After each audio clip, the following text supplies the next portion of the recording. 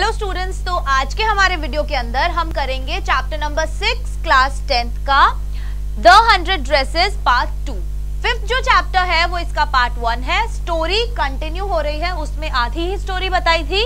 इसके अंदर वो स्टोरी कंटिन्यू होगी. तो जैसा कि हमने पिछले वीडियो में देखा, क्या होता है? एक वैंडा नाम की लड़की होती है, जो कि बहुत ज़्यादा शाय नेचर की होती है. किसी से स्कूल में बात नहीं करती, बिल्कुल पीछे वाली बेंच पर जाकर बैठती है। उसके ड्रेसिंग सेंस के बारे में बताया कि सिर्फ़ वो एक ही ब्लू कलर की फेडेड ड्रेस पहनकर आती है और हमेशा उसके जो शूज़ होते हैं, वो मड में मतलब गंदे हुए रखते हैं। तो ये सब चीज़ें सबसे पहले बताई गई। साथ में क्या बताया गया कि पेगी और मैडी दो कैरेक्टर्स होते हैं। कौन से?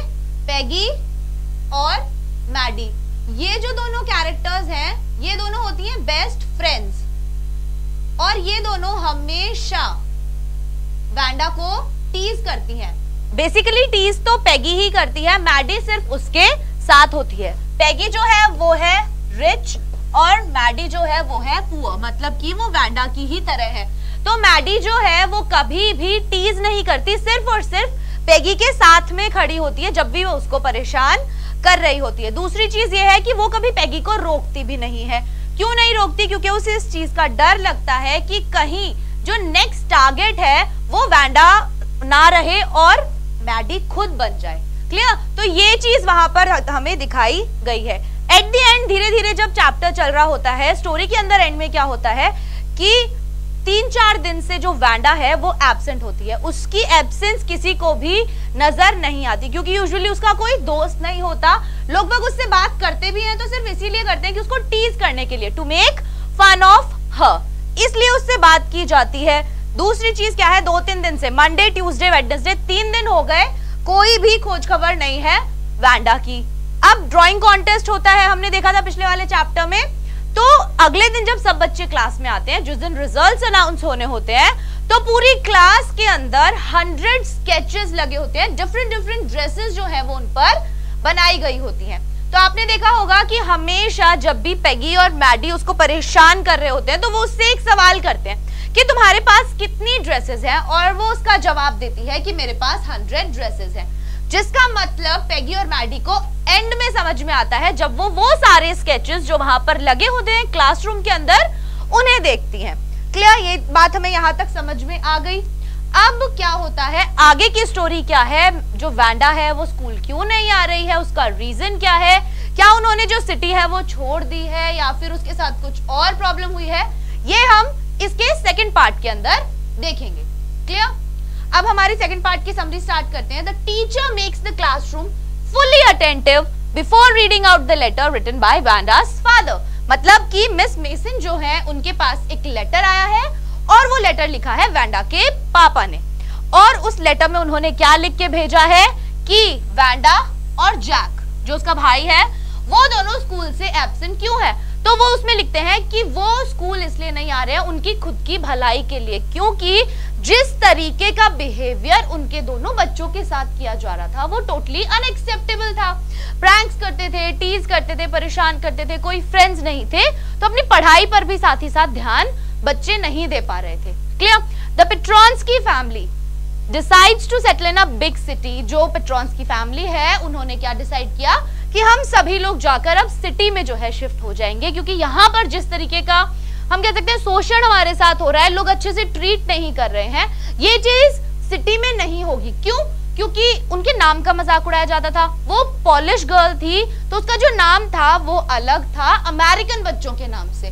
क्लियर तो उन्हें बहुत फनी लगता था अमेरिकन बच्चों को उसका नाम, जिसका वो मज़ाक उड़ाते थे। तो उसके फादर लिख के भेजते हैं कि सिटी में बहुत सारे ऐसे नाम होंगे जो कि फनी होंगे तो वहाँ पर ये जो प्रॉब्लम है मेरे बच्चों को नहीं आएगी। इसीलिए वो लोग सिटी की तरफ़ शिफ्ट कर जाते हैं। ठीक है? तो उन्होंने ये यहाँ पे बोला कि हम बिग सिटी में शिफ्ट हो रहे हैं क्योंकि वहाँ पर मेरे बच्चों को सफ़र करना नहीं पड़ेगा और उनके साथ ना ही फ्रैंक्स किए जाएँगे उनके क्लासमेट्स के द्वारा। क्लियर तो मिस मेसन को ये बात वैंडा के फादर के लेटर के थ्रू पता चलती है कि किस तरीके का बिहेवियर वैंडा के साथ क्लास के बच्चों ने किया। तो इस बात पर मिस मेसन जो है, वो बहुत मतलब कि गुस्सा हो जाती हैं और अपसेट भी हो जाती हैं। क्यों गुस्सा और अपसेट होती हैं वो? क्योंकि उन्हें लगता है कि ये बच्चे हैं जो इन्हें मैं ही पढ़ा रही हूँ एजुकेट कर रही हूँ। मेरी ही क्लास में एक बच्चा ऐसा था वैंडा ऐसी थी, जो इतना सब कुछ उसके साथ हो रहा था, जिससे मिस मेसन जो है वो, उन्हें नहीं पता था, उनकी नॉलेज में वो चीज़ नहीं थी, वो अनजान थी उस चीज़ से। तो उन्हें उस चीज़ पर गुस्सा आ रहा था बच्चों पर, और वो अपसेट भी थी कि वैंडा चली गई है ये सब झेल कर और यहाँ से सिटी को छोड़कर मतलब किस लेवल का उन्होंने परेशान किया होगा कि उनकी फैमिली को इतना बड़ा डिसीज़न लेना पड़ा। तो ये सब चीज़ें मिस मेसन के एज अ टीचर दिमाग में चल रही थी। The whole class along with the teacher got shock teacher के साथ साथ पूरी क्लास जो है वो भी शॉक में आ गई। क्यों? क्योंकि जो बच्चे थे, वो कोई भी ऐसा हार्म नहीं पहुंचाना चाहते थे उसको। वो सिर्फ़ उसका मज़ाक उड़ाते थे। किस वजह से? क्योंकि उसकी जो स्टेटमेंट्स हैं वैंडा की जो स्टेटमेंट्स होती थी, वो हमेशा कॉन्ट्रडिक्ट करती थी। उससे कोई भी पूछता था कि तुम्हारे पास कितनी ड्रेसेस हैं तो वो बोलती थी कि मेरे पास हंड्रेड ड्रेसेस हैं, जबकि वो सिर्फ़ एक ब्लू कलर की फेडेड ड्रेस पहनकर ही आया करती थी हमेशा। तो बच्चे कहते थे, फिर इस बात पे बच्चे मज़ाक उड़ाते थे कि ये हंड्रेड ड्रेसेस बोलती है, अगर इसके पास पूरा भरा हुआ क्लॉसेट है ड्रेसेस का तो ये सिर्फ़ एक ही ड्रेस पहनकर क्यों आती है, जिस पर भी आयन नहीं हो रखा होता? मतलब प्रेस्ड नहीं होती है उसकी वो ड्रेस ठीक है? तो पुअर गर्ल वो यहाँ पर बताई ही गई है। यहाँ पर इसी वजह से उसका मज़ाक उड़ाया जाता था कि वो ऐसे स्टेटमेंट्स देती थी। तो बच्चे उससे पूछते थे अच्छा चलो बताओ कि ना, कैसी दिखती है तुम्हारी ड्रेसेस तो वो बकायदा उन ड्रेसेस को एक्सप्लेन भी करती थी कि इस तरीके की ड्रेसेस हैं फ्लावर है, ये है, वो है ग्रीन कलर की है रेड कलर की है। सब कुछ वो उन्हें आराम से बताती थी। जब वो पूछती थी, कितने शूज़ हैं तुम्हारे पास? तो वो भी वो बताती थी कि सिक्सटी पेयर ऑफ़ शूज़ है। तो यही सब चीज़ें थी जिसका बच्चे उनका मज़ाक उड़ाते थे। अब बच्चे शौक हो गए थे कि वो सिटी छोड़कर ही चली गई है, सिर्फ़ इस कारण से। दूसरी चीज़ उन्हें ये लग रही थी कि वो इतनी ज़्यादा टैलेंटेड थी जिसका हमें नहीं पता था। वो विनर घोषित होती है, उसको विनर अनाउंस करती है टीचर कि जो इस ड्राइंग कंपटीशन की विनर है वो वैंडा है गर्ल्स के अंदर। अब पूरी क्लास जो है वो एकदम शॉक में चली गई कि अरे वो तो यहाँ से चली गई। With the content of the letter sent by Mister Petronski उसके पेट्रॉन्स्की ने मतलब पापा ने जो भी लिखा था, उससे उन बच्चों को बहुत ज़्यादा शौक लगा कि जो रीजन था, इसके पीछे वो ये था कि बच्चों ने उसे बहुत ज़्यादा परेशान किया प्रैंक किया टीज किया। ये वाला रीजन उसका था। The entire class got tense पूरी क्लास एकदम से टेंशन में आ जाती है। And they felt bad about Wanda और उन्हें वैंडा के लिए बुरा लगने लग जाता है ऑल ऑफ़ अ सडन क्योंकि किसी की उससे ऐसी कोई पर्सनल दुश्मनी नहीं थी। कोई उसका दोस्त नहीं था क्योंकि वो किसी से ज़्यादा बात नहीं करती थी, शाय किस्म की लड़की थी। क्लियर कोई उससे कुछ पूछता भी था तो वो ऐसे जवाब देती थी, जिसकी वजह से पीछे से बच्चे उसके ऊपर हँसते थे। तो एक तरीके से ये अच्छा बिहेवियर नहीं है, पर हम कह सकते हैं कि बचपने में उन लोगों ने ये काम किया जिससे वो अनजान थे कि वो किसी को किसी तरीके की हानि पहुँचा रहे हैं। Clear Maddie could not concentrate अब इन दो इन सभी चीज़ों का, जैसे उन्हें पता चला कि वो सिटी छोड़कर जा रहे हैं तो मैडी के ऊपर इस चीज़ का बहुत बुरा असर पड़ा। वो बहुत ज़्यादा गिल्ट के अंदर चली जाती है कि क्यों उसने ऐसा होने दिया? क्यों ये दोनों जब खड़े होकर उसका मज़ाक उड़ा रहे होते थे? मतलब वो और पैगी जो है, जब वहाँ पर खड़े होते थे और बैंडा होती थी तो पैगी जब उसका मज़ाक उड़ा रही होती थी, क्यों मैंने उसे कभी नहीं रोका? इसके पीछे एक रीजन ये था, क्योंकि वो डरती थी कि कहीं जो टारगेट है वो वैंडा ना होकर वो खुद ना बन जाए, क्योंकि वो भी एक पुअर गर्ल ही थी। इतनी ज़्यादा रिच फैमिली से वो बिलोंग नहीं करती थी। अब वो चीज़ उसको बहुत ज़्यादा परेशान कर रही थी और अपनी पढ़ाई पर वो ध्यान नहीं दे पा रही थी, क्योंकि बार बार बार बार वही चीज़ें उसके दिमाग में आती थी। She felt that she is coward उसे ये लगने लगा कि वो बहुत ज़्यादा कायर है। क्यों? क्योंकि उसने कभी भी गलत के खिलाफ आवाज़ नहीं उठाई उसे पता था कि वो गलत कर रही है, पैगी उसकी दोस्त है। बेस्ट फ्रेंड है, उसे लगा मेरी फ्रेंडशिप टूट जाएगी, मुझे टारगेट बना लेंगे। इन सभी कारणों से उसने कभी भी नहीं बोला बट ये रीजन जो अब उसे लग रहा था कि उसने ऐसा क्यों किया, उसने क्यों नहीं बोला, अगर उसने बोला होता तो आज वैंडा जो है, जो इतनी टैलेंटेड थी और हमारे इस नेचर की वजह से यहाँ से उसे जाना पड़ा, वो आज नहीं होता।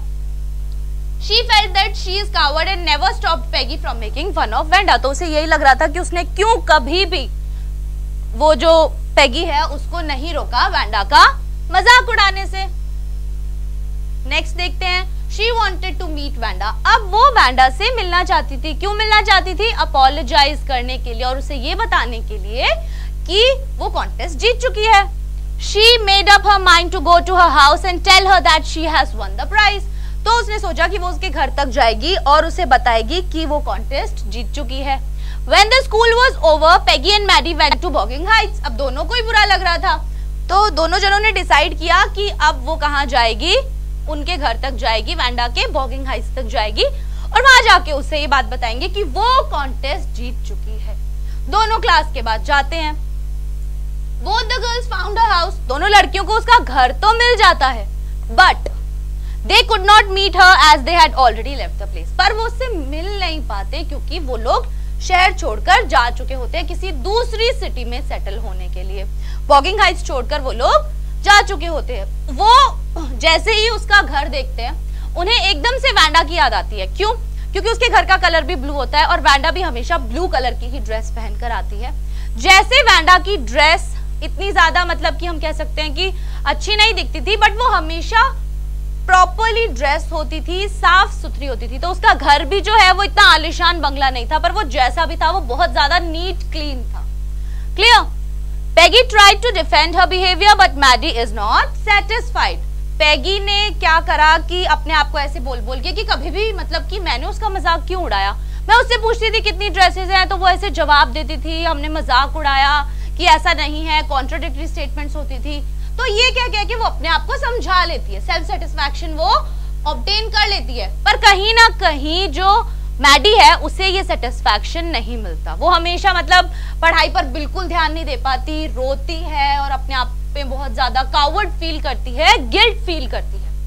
On Saturday both Peggy and Maddie wrote a letter to Wanda telling her she had won the contest तो अब सैटरडे के दिन दोनों ने क्या किया? एक लेटर लिखा। उन्होंने सोचा कि अब और कुछ तो कर नहीं पा रहे हैं तो एक लेटर ही लिख देते हैं, एक चिट्ठी लिख देते हैं, जिसमें वो उसे बताएँगे कि वो जो कॉन्टेस्ट है वो जीत चुकी है। मतलब एक तरीके से वो उससे कांटेक्ट करना चाहते थे, ये जानने के लिए कि शायद अब वो जिस नई जगह गई है, वहाँ का माहौल कैसा है। तो वो ये सब चीज़ें भी उससे पूछते हैं लेटर के अंदर कि जहाँ तुम गई हो मतलब कि वहाँ तुम्हारे नए टीचर कैसी हैं, नया माहौल कैसा है, ये सब चीज़ें भी उससे पूछती हैं।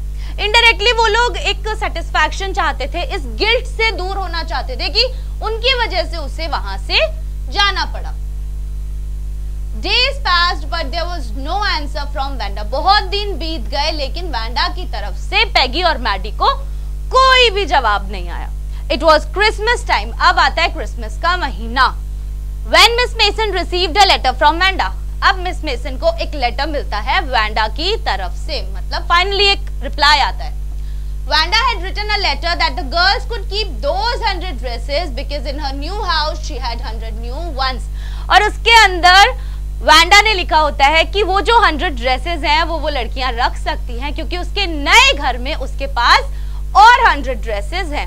वो लड़की इतनी ज़्यादा टैलेंटेड होती है कि जितने भी स्केचेस उसने बनाए होते हैं कोई भी डिज़ाइन जो है वो रिपीट नहीं होता। सब अलग अलग डिज़ाइन होते हैं और उसने वहाँ जाके हंड्रेड डिज़ाइन और बना लिए। क्लियर तो वो यही कहती है कि वो जो ड्रेसेस बना के गई, वो लोग वो रख सकते हैं। मैंने अपने हंड्रेड और ड्रेसेस जो हैं वो बना लिए हैं। यहाँ पर मेरे पास और हंड्रेड ड्रेसेस हैं। She had gifted special drawing to Peggy and Maddie और उसने पेगी और मैडी को स्पेशल ड्राइंग भी गिफ्ट की, जिसके अंदर मतलब जब वो उसे चिढ़ाया करते थे टीज किया करते थे और डिस्क्रिप्शन मांगा करते थे उनकी ड्रेसेस का तो जैसी ड्रेस का डिस्क्रिप्शन वो देती थी, वहाँ पर वो ड्रेसेस भी उन्होंने देखी। तो उसने ड्रेसेस क्या करी? पेगी और मैडी को गिफ्ट भी कर दी। अब उन ड्रेसेस में थी एक खासियत। वो खासियत क्या थी?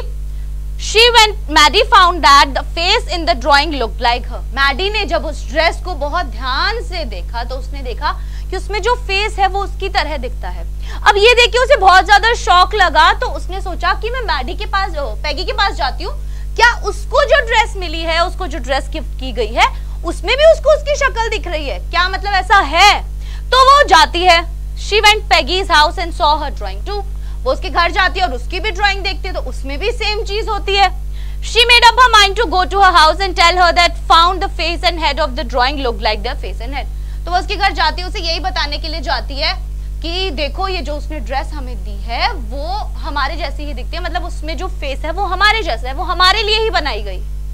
क्लियर तो इस बात से जो पैगी होती है, वो उसे एक सेटिस्फैक्शन मिल जाता है कि देखो, वो हमसे हेट नहीं करती थी जब भी उसने हमारा फेस यूज़ किया है, या इन ड्रॉइंग्स में हमारा जो फेस है, वो हमें दिखाई दे रहा है। और वो इस तरीके के उल्टे सीधे बहाने लगा के अपने आप को कंसोल कर लेती है कि भाई मेरी गलती नहीं थी, मैंने उसे एज ए टीज नहीं किया कि उसे ये शहर छोड़कर जाना पड़े। कहीं ना कहीं अंदर ही अंदर उसे पता भी था। पर मैडी में और पेगी के कैरेक्टर में बहुत ज़्यादा डिफरेंस दिखाया गया है और एंड आते आते स्टोरी का उनमें चेंजेस भी बहुत ज़्यादा बहुत सारे चेंजेस जो है हमें देखने को मिलते हैं। पैगी कंसोल्ड हरसेल्फ पैगी तो अपने आप को कंसोल कर लेती है by saying that Wanda really liked them ये कहकर कि वैंडा हमें वाकई में बहुत पसंद करती थी, तभी उसने हमारे फेसेस की ड्रेस बनाई है। मतलब ड्रेस में जो फेस यूज़ किए हैं स्केचेस के अंदर, उसमें हमारी शक्ल हमें दिखाई दे रही है। ये कह के वो अपने आप को कंसोल कर लेती है और वापस से उसकी नॉर्मल लाइफ शुरू हो जाती है। पर कहीं ना कहीं मैडी के दिमाग पर इस चीज़ का बहुत गंदा असर पड़ता है और वो इस चीज़ का प्रण लेती है कि आज के बाद अगर चाहे उसकी बेस्ट फ्रेंड छूटे, चाहे उसके साथ कुछ भी हो जाए, वो किसी के भी साथ ऐसा बिहेवियर नहीं होने देगी। चाहे वो अकेली पड़ जाए, चाहे उसको टारगेट बना लिया जाएगा वापस बट ये चेंज हमने मैडी के अंदर देखा कि उसने, जब वो अपने आप को कावर्ड फील कर रही थी और एक गिल्ट के अंदर थी, उससे बाहर निकलने के लिए उसने अपने अंदर एक चेंज लाया कि ये जो गलत चीज़ हो रही है, इसके खिलाफ वो हमेशा बोलेगी। चाहे वो पैगी ही क्यों ना हो, चाहे उससे उनकी फ्रेंडशिप जो है वो खराब क्यों ना हो गई हो। क्लियर मैडी अग्रीड मैडी ने उसकी बात से अग्री कर लिया, जैसी पैगी ने बोला कि देखो देखो, वो हमें पसंद करती थी, ऐसी बात नहीं है कि हमने उसे परेशान किया। तो मैडी जो होती है, वो ब्लिंक कर देती है कि हाँ हाँ समझ गई मैं, वो करती थी और एकदम से उसकी आँखों से आँसू आने लग जाते हैं इमोशनल हो जाती है, क्योंकि उसे वो चीज़ हॉन्ट कर रही होती है। That time came every time tears that came every time she thought of Wanda Petronski और आँसू हमेशा मैडी की आँखों में आ जाते थे। जब भी वो वैंडा पेट्रॉन्स्की के बारे में सोचा करती थी तो हमने देखा कि पैगी और मैडी के अंदर क्या चेंजेस है पैगी के अंदर कुछ खास चेंजेस नहीं आए, लेकिन मैडी के अंदर बहुत बड़ा चेंज आया कि उसने गलत के खिलाफ बोलना सीखा इस इंसिडेंस के बाद में क्लियर तो यहाँ पर ये चैप्टर खत्म होता है अब हम कुछ इंपॉर्टेंट क्वेश्चंस देख लेते हैं What did Mr. Petronski's letter say? Mr. Mr. Petronski ने जो लेटर लिखा था, उसमें उन्होंने क्या कहा था तो पूरी क्लास को वैंडा के एब्सेंस के बारे में मिस्टर पेट्रॉन्स्की के लेटर से ही पता चला।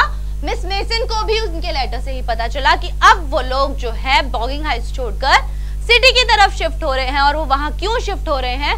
क्योंकि वहाँ पर उनके बच्चों के साथ जो है व्यवहार अच्छा नहीं किया जा रहा। प्रैंक किए जाते हैं टीज किया जाता है, जिसके ऊपर मतलब जिसका उनके ऊपर बहुत ज़्यादा बुरा प्रभाव पड़ रहा है। क्लियर उनके स्टैंडर्ड की वजह से कि just because they are poor and just because they are very shy वो कुछ बोलते नहीं है, वो पॉलिश गर्ल है एक, उसका नाम थोड़ा सा डिफरेंट है। इसकी वजह से उसके साथ ऐसा ट्रीटमेंट जो है वो बाकी बच्चे कर रहे हैं। तो वो उसके फादर को बिल्कुल भी मंजूर नहीं था और उन्होंने वहाँ से शिफ्ट कर लिया। ये कहकर कि यहाँ पर ऐसे और बहुत लोग होंगे जिनके नाम बहुत अजीब होंगे तो यहाँ पर उनका ऐसे मज़ाक नहीं उड़ाया जाएगा। Is Miss Mason angry with the class और is she unhappy and upset क्या जो मिस मेसन थी, वो गुस्सा थी क्लास से या फिर वो अपसेट थी? तो हम दोनों ही चीज़ कह सकते हैं। एंग्री इसलिए थी कि उन्हें ये लग रहा था कि मैं जिन बच्चों को पढ़ा रही हूँ मतलब मेरी मौजूदगी में इतनी सब चीज़ें हो रही थी और उन्हें इस चीज़ के बारे में नहीं पता था। और ये इस हद तक पहुँच गई कि वैंडा को स्कूल छोड़कर जाना पड़ा। वो उन्हें गुस्सा आ रहा था।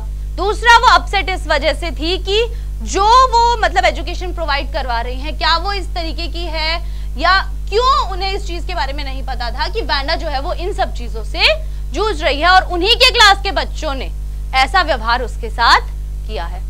Clear How does Maddie feel after listening to the note from Vanda's father? Maddie को कैसा फील हो रहा था जब नोट पढ़ा गया क्लास के सामने जो कि वैंडा के फादर ने भेजा था? तो मैडी को एकदम से बहुत ज़्यादा गिल्ट और कावर्ड फीलिंग आ रही थी कि वो बहुत ज़्यादा कायर है और उसने बहुत ज़्यादा गलत किया कि पैगी के साथ खड़ी रहती थी। बेशक कुछ नहीं बोला पर कभी भी पैगी को रोका भी नहीं। ठीक है? तो उसे बहुत ज़्यादा बुरा फील हो रहा था। उसको हॉन्टेड फील हो रहा था। अपनी स्टडी पे कंसंट्रेट नहीं कर पा रही थी। और यू you नो know, बहुत ज़्यादा उससे मतलब पश्चाताप करना चाहती थी इस चीज़ का। तो वैंडा को उसने लेटर भी लिखा और बाद में अपने अंदर एक बहुत बड़ा चेंज भी लाया कि कहीं मतलब चाहे उसकी फ्रेंडशिप टूट जाए पैगी के साथ, पर आज के बाद वो किसी और के साथ ये चीज़ बिल्कुल नहीं होने देगी। What did the girls write to Wanda अब इसका आंसर आपको हमें कॉमेंट सेक्शन में बताना है कि जो लड़कियाँ हैं, उन्होंने वैंडा को जो लेटर लिखा, उस लेटर के अंदर उन्होंने क्या लिखा? एक चीज़ मैं आपको बताती हूँ कि उन्होंने लिखा था कि वो कॉन्टेस्ट जीत गई है, जो ड्राइंग कॉन्टेस्ट हुआ था। बाकी की सारी चीज़ें आप हमें कमेंट सेक्शन के अंदर बताएँगे कि पेगी और मैडी ने वैंडा को लेटर के अंदर क्या लिखा था। आगे आने वाली वीडियोस में हम नेक्स्ट चैप्टर्स करेंगे। इसके लिए आप हमारा चैनल ज़रूर सब्सक्राइब करें ताकि टाइम टू टाइम सारी वीडियोस आपको मिल सके। Thank you